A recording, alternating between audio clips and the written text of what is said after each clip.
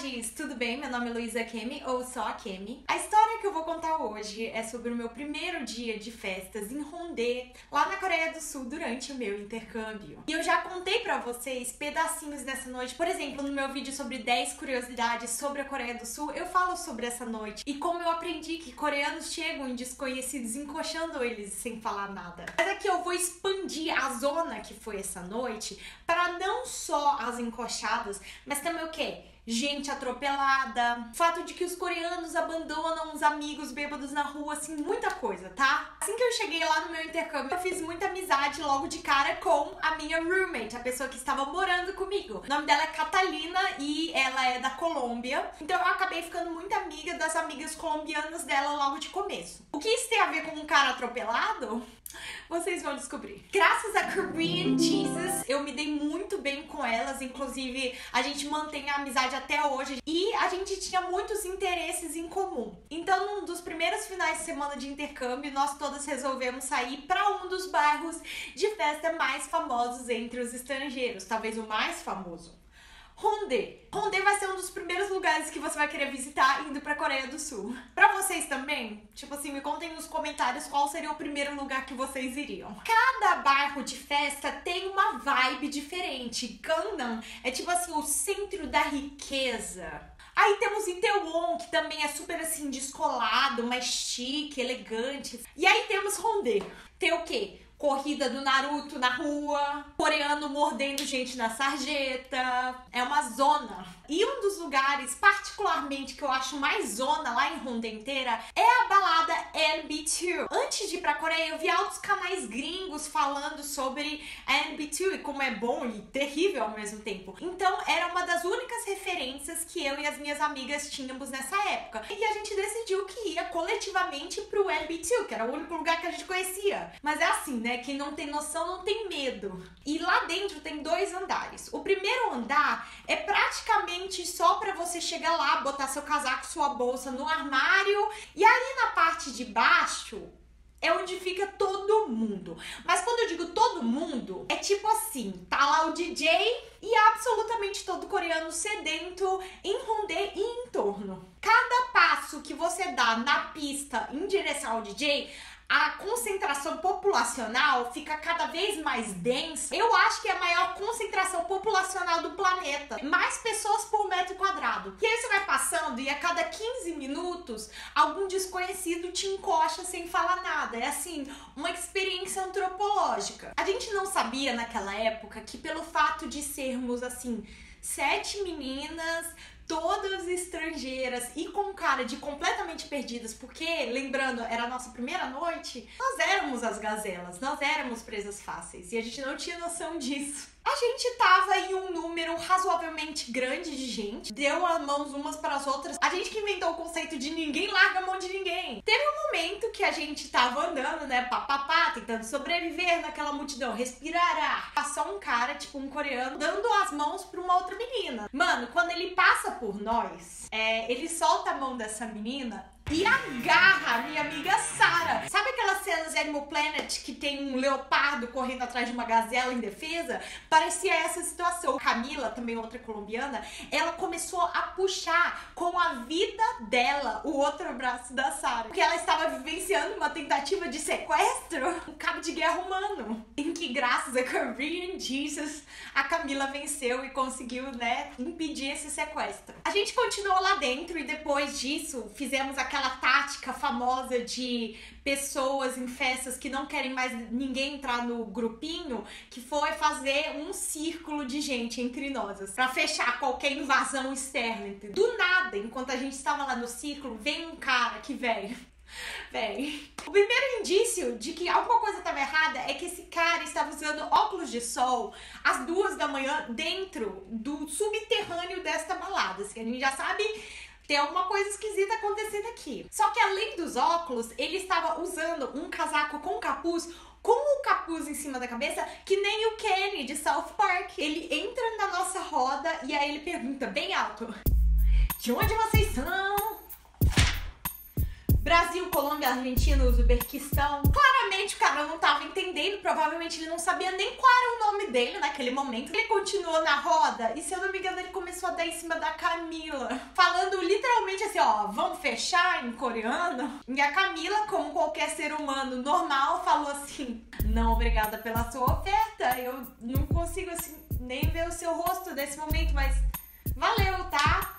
Tchau! Não deu nem cinco minutos de paz e esse mesmo homem, ele volta pra nossa roda e ele fala: De onde vocês são? A partir daí, o nosso grupo se dividiu. Eu fiquei dentro da NB2 com duas outras amigas e as minhas amigas colombianas, elas saíram para tomar um ar, né? Até porque duas delas tiveram experiências traumáticas em um curto período de tempo. A Sara quase foi vítima de sequestro. A Camila teve que dar duas vezes fora no Kenny coreano do South Park. Daí elas saíram e foram diretamente para uma hamburgueria que ficava bem do lado da NB2. Papapá, compraram os hambúrgueres delas e sentaram no meio fio. Lá em Rondê, especificamente, na madrugada, você vê muita gente na rua. Porque pensa só, tem muitos e muitos bares e baladas concentrados num espaço da cidade que é muito pequena. É tipo assim, um ovo de codorna. As ruas que passam literalmente carros durante o dia ficam praticamente fechadas só de gente andando pela rua. Parece assim, rua de carnaval. E não é que a rua fica fechada para carros. É tipo assim, se um carro quer passar, ele pode.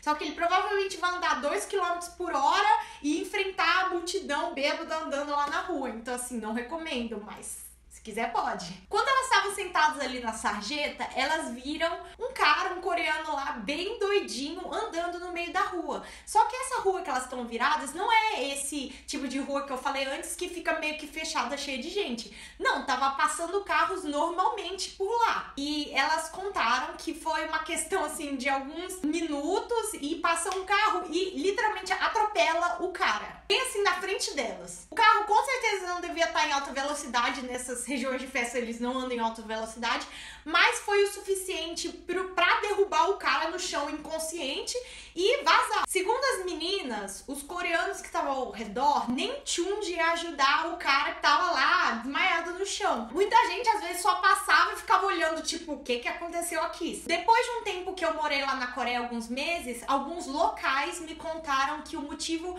pelo qual alguns coreanos não vão lá ajudar lá na hora é porque já teve casos em que a pessoa que tá machucada processou a pessoa que tava ajudando ela por piorar a situação, ou piorar os machucados, tipo, não ajudar da forma certa. Eu não sei qual é a veracidade disso, eu não entendo exatamente as leis coreanas, mas eu ouvi de locais. Eu já vi a cena de, por exemplo, alguém tendo quase um coma alcoólico no chão e todo mundo passa olhando assim, cochichando, mas não faz nada. Só eu e a minha outra amiga brasileira tentamos ajudar o cara, perguntar se ele tava bem, comprar água para ele. No momento em que as minhas amigas separaram que ninguém ia fazer nada, tipo assim, elas correram lá pelo socorro, imagina. Minhas três amigas vestidas tipo de roupa de festa levantaram o cara do chão e levaram até a segurança lá da calçada. Nem a única esperança que era comer o hambúrguer delas, elas podiam comer em paz. A Kata, que era minha colega de quarto, ela sabia um pouco mais de coreano do que as outras duas. Então ela começou a tentar perguntar se ele tava bem. Gente, só que o problema é que esse cara estava completamente apagado, sem zoa, assim, ele não respondia. Daí tava as minhas três amigas surtando, assim, gritando: Kenchana! Kenchana! Um monte de coreano que passava na rua parava e ficava olhando essa situação. Três latinas sentadas no meio-fio com um coreano apagado, elas chorando, assim, surtando e segurando hambúrgueres.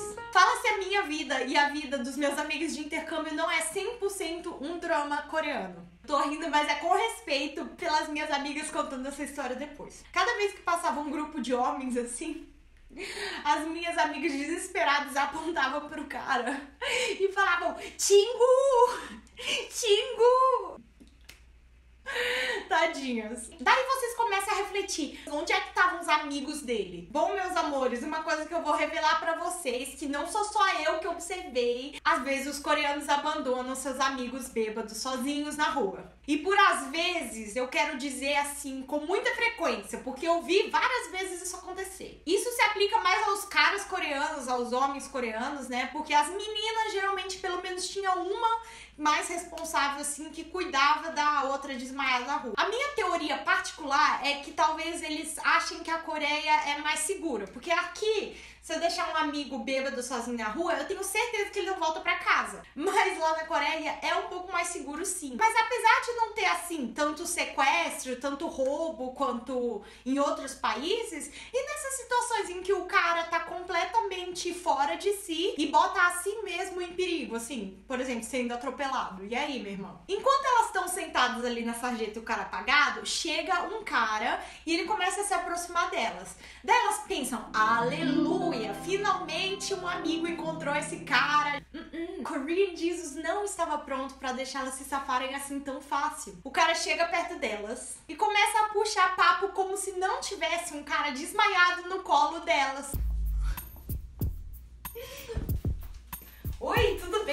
Licença, de onde vocês são?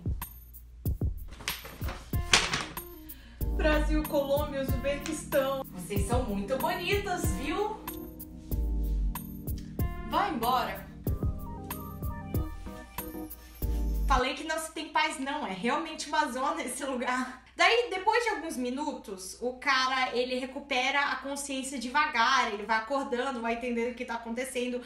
E a minha amiga Camila falou: graças a Deus, porque eu jurava que eu estava comendo hambúrguer do lado de um cara morto. Daí elas vão ali na loja de conveniência, compram uma água pro cara e ficam perguntando, tipo assim, onde é que estão seus amigos, hein? Vamos tentar encontrar eles. Daí o cara pede emprestado o celular da Cata pra ele conseguir mandar mensagem pelo que eu entendi, para ele mesmo, porque além de perder a dignidade, ele também tinha perdido o celular. Ele liga pro próprio celular e aparentemente o amigo que tava com ele atende. E aí eles marcam de se encontrar numa conveniência lá perto. Aí beleza, as minhas amigas vão junto com ele para se certificar de que ele vai, né, sobreviver esse curto caminho. Ele encontra com o Rian dele, o amigo dele, que entrega o celular, a carteira, essas coisas.